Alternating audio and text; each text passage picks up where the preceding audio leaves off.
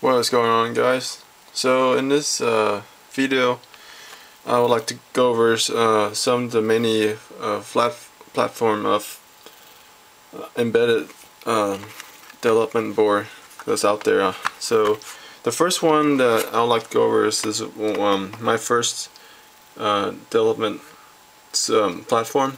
Um, well I got the kit from the uh, NerdKits guy it's a great little kit, but it's around $80, but it's really worth it.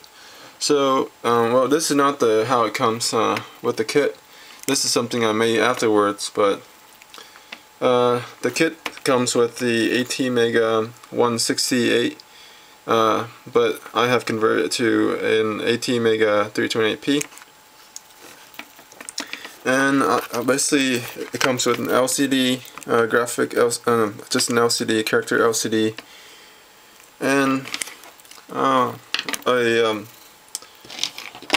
breadboard, a breadboard. But I just hook up to this uh, perf board, and then this is a relay program that I have uh, running right now.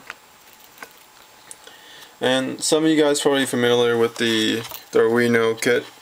Um, uh, this is the board is really uh, very inexpensive. It's around 20 bucks, and it also runs on the 328p uh, AVR microcontroller.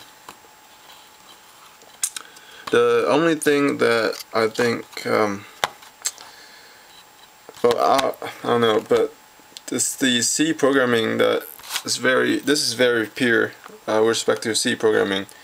Uh, this one is like the process uh, uh, programming language. So it's not really straight up C. So that's the one thing I, I really didn't like. It's kind of, I, I don't want to say this, but it's kind of dumbed down. So I guess it's good for beginners, just want to get uh, things rolling. But if you get this, you won't understand the hardware uh, as much as so something as a nerd kit because uh, the NerdKit comes in uh, with all the components and you have, to, you have, to, put it together and once you put together you actually learn about all the uh, components and you learn how to read data sheets and you will become very uh, sufficient. Uh, the the next board that I bought is the actually the Netduino here. Uh, I bought the $60 version so I have my Ethernet uh, hooked up.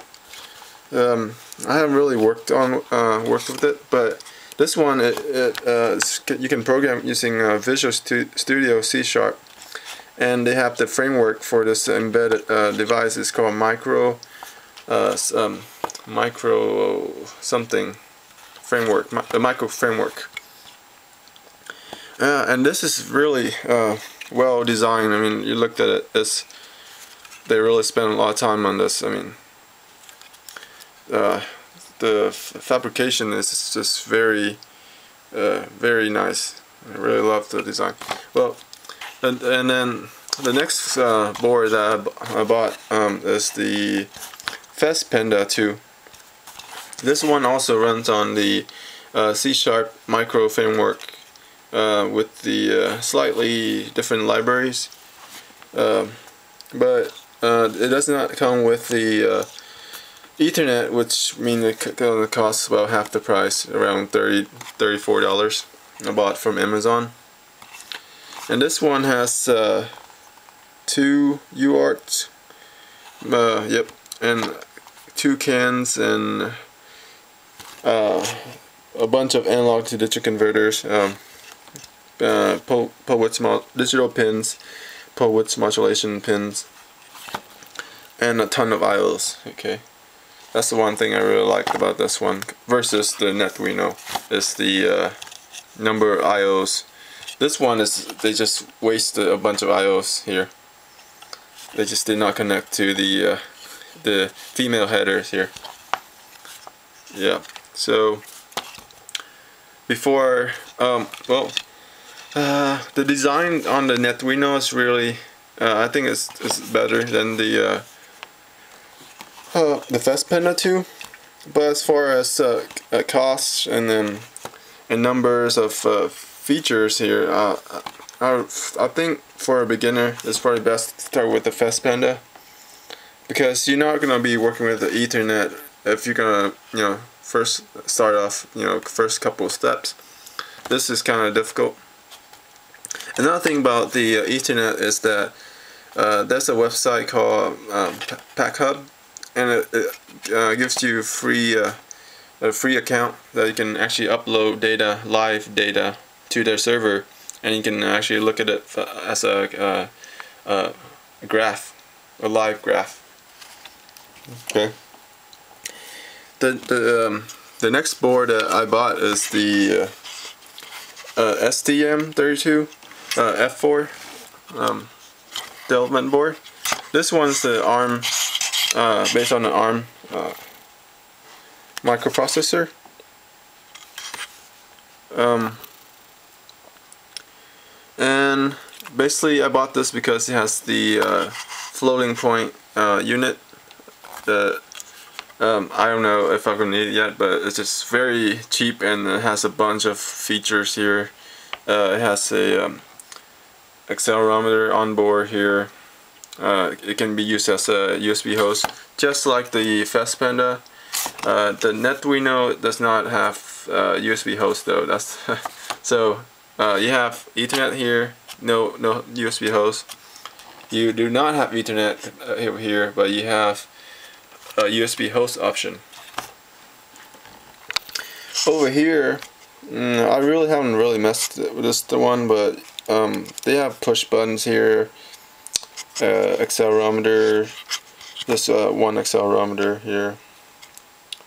And oh yeah, um, this one runs on about um, 100 and something megahertz, so it's pretty uh, pretty fast. The uh, the Panda board is about 70 megahertz. Uh, this one is uh, 60, 50 megahertz, I think. The uh, Arduino is, uh, of course, it depends on clock, but as far as the maximum you can go is uh, 20 megahertz, but the clock they have right now is 16 megahertz. And um, you, if you've seen my other videos, I have my ATmega 64, uh, 6, 644 PA here, and I'm running on 14.7 megahertz, just like the NerdKit setup. Um, well, I'm not going to really talk about this one. It's a homemade PCB board, uh, development board, to evaluate the uh, ATmega 644. Uh, the last board that I actually I bought, this is quite expensive for, but I'm not, I'm not sure it's worth it uh, right now because I just bought it. Because uh, I was planning to do some research over the summer with the professor. Well, he's, he's, he's talked about how this uh, parallax uh, propeller board, uh, the uh, the microcontroller has eight cores, uh, or they call it ACOGs. So I will be learning how to uh, do actual parallel programming using the the spin programming language, which can be a little tricky since I've heard a lot of stories about it. So, but the eight cores really got me. That's why I bought this for um, $45 on Mouser. This is a Gadget Gangster board. Um, well, it has the uh, serial, I2C, and stuff. The documentation is not that great. Uh, uh, it's not much on the data sheet, but you can actually con uh, contact the people, I guess, and they'll tell you more. So, uh, this is the one that uh, uh, this is the uh, start quick start uh, board. Uh, I haven't actually opened this one yet, uh, but this this one's only like 15 bucks, so not not much here. Um, I guess uh, in this video I just want to go over all these boards I either made or bought. spend quite a bit of money, but it's quite worth it. Learn a lot, but I definitely recommend. Um, uh, I have to say, if you have money, get the NerdKit, spend some time on that, and then you really appreciate the Arduino afterwards if you go through the the boot camp over here with the NerdKit. I'm actually a very uh, big NerdKit uh, NerdKits fan. So I'll cut this one off right here. Thanks for watching.